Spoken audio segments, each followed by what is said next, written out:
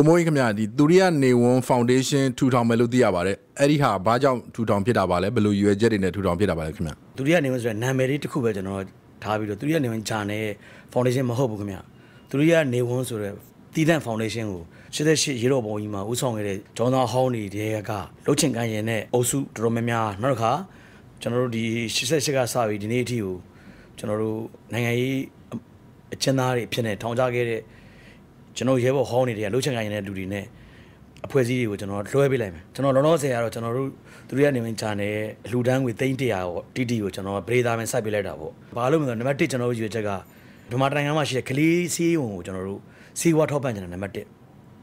ကျွန်တော်တွန်းလွန်တုတ်ခွေးရကျွန်တော်တို့ကလေးတွေအားလုံးအသက်ကိုချင်းချောင်းနေတယ် နိုင်ငံရေးအကျဉ်းသားတွေ88ရေတော့မတိုင်ခင်ဆက်အာဏာရှင်စနစ်ကိုတိုက်ပွဲဝင်ခဲ့တဲ့62ကစပြီးတော့ဒီနေ့ထိပေါ့2023ထိနိုင်ငံရေးအမှုနဲ့ချင်းကြပြီးတော့စားစရာမရှိတော့အောင်ဒုက္ခရောက်နေတဲ့ပြည်သားစုတွေရဲ့ကလေးတွေရဲ့ပညာရေးနဲ့ကျန်းမာရေးကိုကျွန်တော်တို့ကိုညင်မယ်အဲ့ရသူရိယနေဝင်ဖောင်ဒေးရှင်းထူထောင်တဲ့ရည်ရည်မှန်းချက်ပဲကျွန်တော်တို့သူရိယနေဝွန်ဂျာနယ်ကတခြားဂျာနယ်တွေနဲ့ရှင်းလိုက်လို့ရှိရင်ဈေးကွက်မှာရောင်းအားအတော်ဟိုတက်နေတယ်လို့သိရပါတယ်ဘာကြောင့်အဲ့လိုဖြစ်တယ်လို့ယူဆပါတယ်နောက်တစ်ခုကမြန်မာနိုင်ငံရဲ့စီးပွားရေးလုပ်ငန်းရှင်ထိပ်ပိုင်း တွေကိုဦးစားပေးပြီးတော့ဒီတိုက်ခိုက်ရေးသားတယ်လို့မျိုးရှိနေတယ်ဆိုပြီးတော့လည်းဝေဖန်နေတာရှိပါတယ်အဲ့ဒီပေါ်မှာကိုမိုးဟင်းပြောပြပေးပါဦးသူရိယအလင်းကြနေရစပြီးအော်မင်လာလိုက်တာကသူရိယနေဝဲမှာတော့အော်မင်ဆုံးဖြစ်သွားတယ်ပေါ့ဗျာရေးသားချက်တွေကဗမာလူလူကနှစ်ပေါင်း60ခံစားနေရတဲ့သူတို့ရဲ့ဒုက္ခကြီးပေါ့ဗျာသူတို့တောကဗျာပါဒတွေကိုသူတို့ရင်ထဲကစကားတွေကိုသူတို့အဓိကဖိနေနေတဲ့ အာနာပိုင်းတွေသူတို့ရက်ခွက်ထဲမှာသူတို့ဗိုလ်ချနိုင်ခြင်းတဲ့လူတွေအာနာပိုင်းအစ်စ်ဟောင်းတွေလူကြီးသားသမီးတွေရဲ့နိုင်ကြဗိုလ်ကျင့်မှုတွေနောက်ကသူတို့လဲမြေအသိခံရတာတွေသူတို့ဆင်းရဲမွဲတည်နေတာတွေအကုန်လုံးဟာသူတို့ဆန္ဒသူတို့ပြောချင်တဲ့သူတို့နှလုံးသားတွေကစကလုံးဆန္ဒကိုသူတို့ပါဇက်ကဘယ်လိုပြောမှမသိတဲ့ဟာကိုသူတို့ရနေဝင်ရနေပြီးတော့ကျွန်တော်တို့ကပြောပြလိုက်တယ်လို့သူတို့ခံစားရပြီးတော့လူဆန္ဒအများစုပေါ့ဗျာဆင်းရဲသားဆန္ဒအများစုနဲ့အခွင့်အရေးဆုံးနေတဲ့ကျွန်တော်လူလူရဲ့ဆန္ဒတထက် သူတွေကအလင်းနေနေမှာသွားကြလို့အောင်မြန်တာလို့ကျွန်တော်ယူဆရတယ်ကျွန်တော်ခရိုနီလူတွေပုံကိုတိုက်ခိုက်မှုကျွန်တော်တို့လုံးဝမရှိဘူးဒါကျွန်တော်ခရိုနီဒီစနစ်ဆိုးကိုကျွန်တော်တိုက်ဖျက်ရမယ်ကျွန်တော်တောက်ဝင်မယ်ဘာကြောင့်လဲဆိုတော့ကျွန်တော်တိုင်းပြည်ဟာ1988ခုနှစ်စစ်တပ်အာဏာသိမ်းတဲ့ကိုကအစင်လာတဲ့လုံးဝမရှိဘူးကျွန်တော်တို့ကငွေကြေးရင်းနှီးလည်းမရှိတဲ့တိုင်းပြည်တွေပြီကမ္ဘာအစင်းဆုံးနိုင်ငံကနေပြီးတော့ကမ္ဘာအချမ်းသာဆုံးပုဂ္ဂိုလ်ကြီးရှစ်တော်အာရှအချမ်းသာဆုံးအဆင့်တွေအာရှအဆင့်တွေကမ္ဘာအဆင့်တွေဝင်သွားတော့ချမ်းသာသွားတဲ့ဒီလိုဒီလိုတွေရတယ်ရှစ်သက်ချင်းမတိုင်ခင်ရတယ်ဘာမှလည်းမဟုတ်ကြအောင် ကြောက်တွင်းနေဗရမများဒုဒတွင်းနေရနာတို့တွေပိုင်ခဲ့တဲ့ဘိုးစင်မောင်ပဲဗျာဒီဘောမင်းနန်းတော်တွေကဆက်တွေလည်းမဟုတ်ကြဘူးဗျာဘာလို့ရုတ်တရက်ကြီးဒီလောက်ချမ်းသာသွားတယ်ဆိုတာလေဘယ်ကဘာမှလည်းမရှိဘူးမပြနိုင်တော့ဒီမတော်မတရားရထားတဲ့ဟိုအခွင့်အရေးတွေကိုအာနာပိုင်ဒီနေ့ပေါင်းပြီးတော့မှရပြီးတော့ယူသွားတဲ့ခါကျတော့တထောင်ပေးရမယ်ဟောတကြက်နဲ့ယူသွားတဲ့ခါကျတော့999ချက်ကလူလူပတ်စံဖြစ်နေတယ်ဗျာနာသွားတာသူတို့ကဒီအခွင့်အရေးကိုဒီခရိုနီကတထောင်ပေးမှရရမှာပေါက်စေးရ အဲ့တော့တကြက်နဲ့ရသွားတာ999ချက်တက်တာသွားတယ်ကြောင့်အဲ့999တက်တာဘာဖြစ်တယ်လဲသူတို့ထားတဲ့သူတို့ကံပဲသူတို့ရှေးဘဝကောင်းလို့ပဲဘဝဘဝကောင်းလို့ယူလို့မရဘူးတားလို့တတ်မှတ်လို့မရဘူးအဲ့999ချက်နာသွားတဲ့ဟာကကျွန်တော်တို့လူတို့ရဲ့ပတ်စံတော့ပြက်နေတယ်အဲ့ဒါခရိုနီစနစ်ဖြစ်ပေါ်ခြင်းအကြောင်းရင်းဒါပဲအဲ့တော့သူတို့ချမ်းသာကြော်ရလာမှုဟာကျွန်တော်တို့ပြည်သူတွေရဲ့ဆင်းရဲမှုနဲ့တော့ဘဲရိုက်သွားအချိုးကျနေတယ်သူတို့ချမ်းသာလေးလေးကျွန်တော်တို့လူတို့ကဆင်းရဲလေးလေးပဲဗျကျွန်တော်တို့လူတို့ကမဆင်းရဲပဲနဲ့ကျွန်တော်တို့လူတို့ကပုံမှန်စားနေတော့နေတဲ့ဘွားဖြစ်ပြီးတော့သူတို့ကချမ်းသာသွားတယ်ဆိုဒါတစ်မျိုးဗျ သူတို့ကတက်သွားတယ်လူဘွားကျသွားတယ်သူတို့ကတထောင်တက်သွားလူတို့တထောင်ကျသွားတယ်သူတို့ကနက်ပြီးရောက်သွားရင်လူတို့ကအဝေးစီးရောက်သွားတယ်အဲ့ဒါခရိုနီပဲ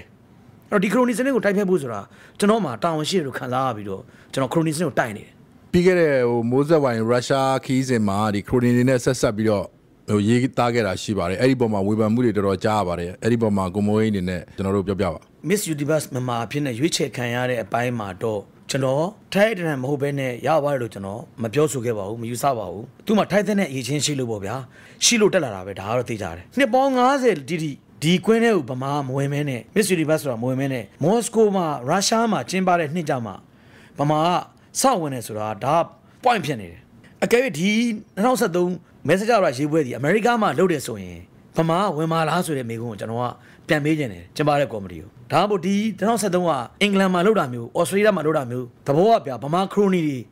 ဗမာစစ်အာဏာရှင်တွေဗမာပြည်က blacklist တွေသွားလို့မရတဲ့အတိုင်းပြည်မှာဒီမိုကရေစီနိုင်ငံမှာကျင်းပရင်ကျွန်တော်တို့ကဝင်မလားဆိုတာ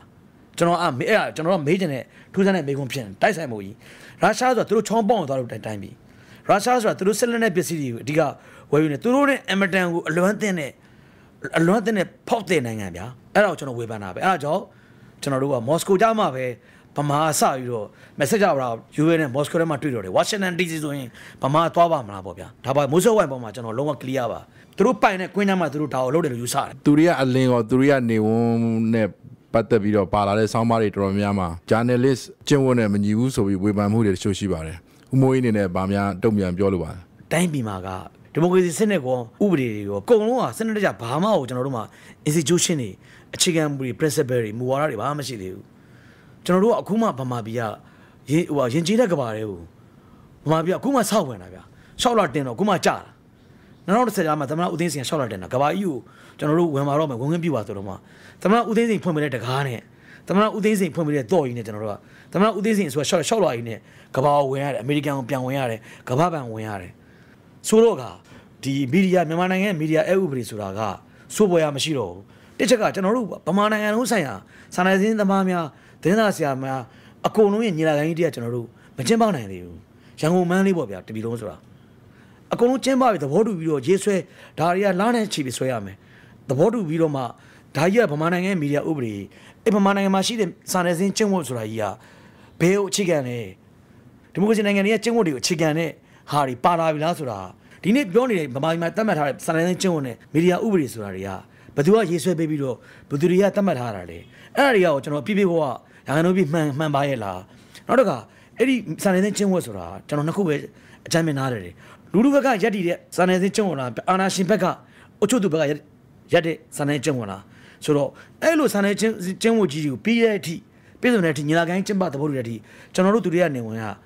စောက်ပြီးတော့ကျွန်တော်လူလူဘောက်ကိုရေးရမှာလား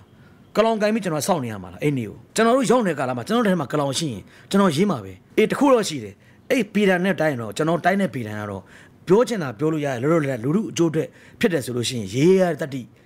ဖော်ထုတ်ရမယ်ဆိုတော့ပီတန်ကကျွန်တော်ရဲ့ပီတန်ပဲ